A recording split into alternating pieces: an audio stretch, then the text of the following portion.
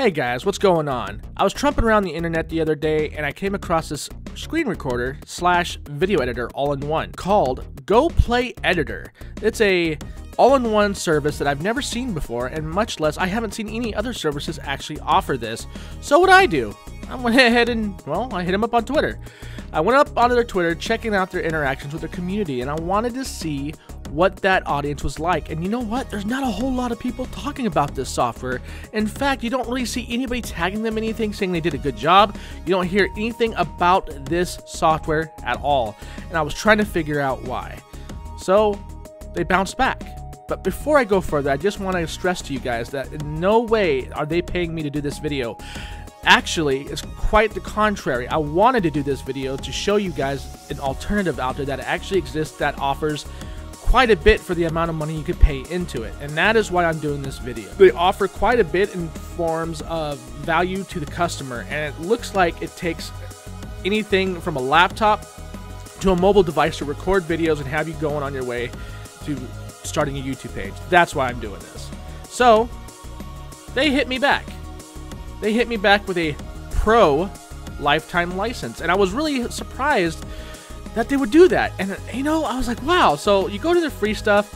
It's not that much. It's pretty minimum. But you know what? Check out the pro stuff. It's actually pretty cheap. And, you know, you might be able to find value somewhere there for you.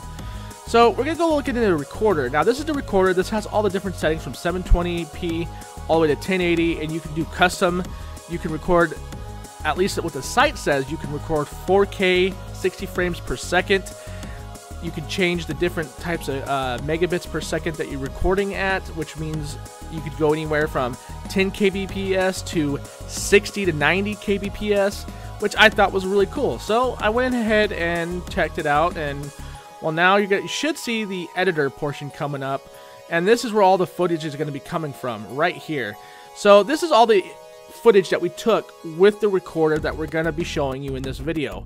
And I'm going to be honest with you guys, I was pretty impressed with the sort of wide a range of things that you could do with this thing as far as recording. You could either record in lossless, you could record in a 1920 by 1080 setting, you can record in subs HD if you felt like it all the way down to 460p. I mean, there's quite a bit here. And like I said, this is all video footage that I took using this software. And that right there is an imported file from the one-on-one that I did with GoGet. Like I'm saying, you can really import almost every file type you have on your computer into the software if you indeed only wish to use this as an editor. And it offers you a sound table, which I thought was pretty interesting. I've never had to use sound tables before.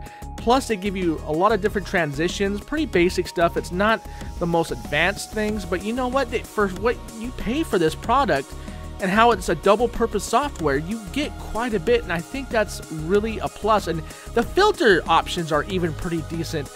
Yes, I know Vegas offers this as well as does Adobe, but for the price you're paying for a double purpose software, I, I can't stress this to you enough.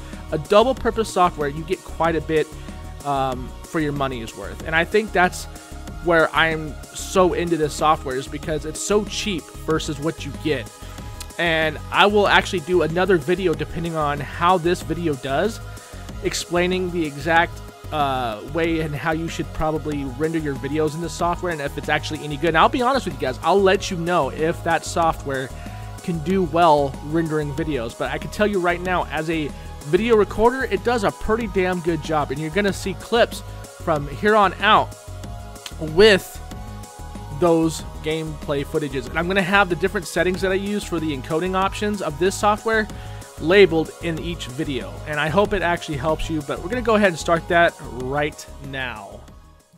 Secure the objectives in this area. Insurgents will try to retake them, so set up defenses. If you find any of their caches, destroy them. It'll disorganize them and help spin them out.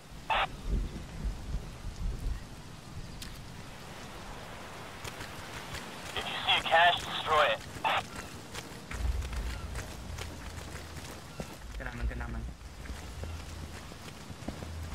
Hey, we're taking Alpha. I'm not seeing any hostiles at Alpha.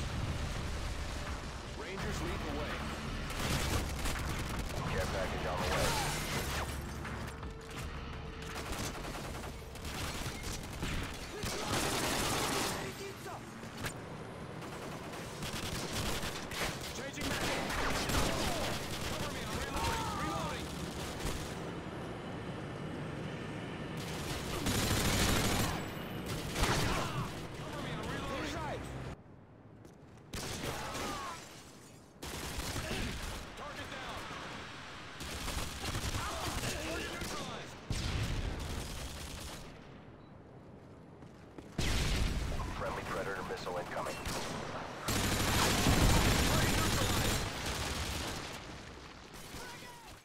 Okay, so that was my IW4X and Insurgency clips. Let me know what you think down below. This program does definitely have security hook issues with BattlEye. So when you play games like Insurgency, Counter-Strike, or even Black Squad, it's going to have issues because of that software. Usually that's mainly where all of my issues have been so far is with the security hooks when it comes to recording video gameplay. So I hope that actually kind of helps you. Now the next clips are going to be all Black Squad with different integrities being recorded at at different intervals, showing you guys the possibilities, what you can and can't do with this. Enjoy.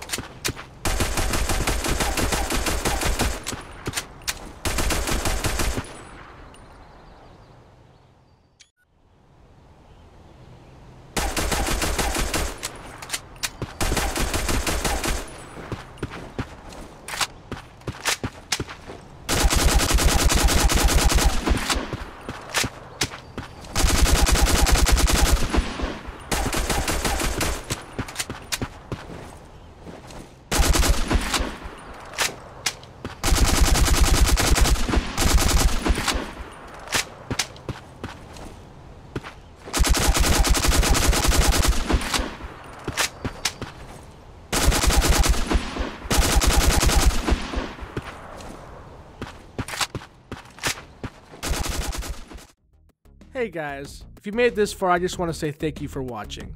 There is something that I did discover while recording this video, and I want to let the developers know. For some reason, the footage that you take with the screen recording software doesn't look all that great in the video editor. It looks choppy and sometimes laggy, so I wanted to let you guys know ahead of time that that video footage that you are viewing within the actual software itself doesn't necessarily look like that when you're actually looking through it on a different editing software, say like a movie Maker or even Adobe or even Vegas. So I just wanted to give you guys a heads up. And again, thank you so much for watching. Thank you to the nice folks over at Coolpix for hooking me up with this software. And if there's any other companies out there that are willing to do that for me, that want me to go ahead and check out their software, please email me at brimstonesgaming at gmail.com. Follow me on Twitter. I am on all the time. Please let me know down in the comments and what you guys think about this software, and I am out. Peace out, guys.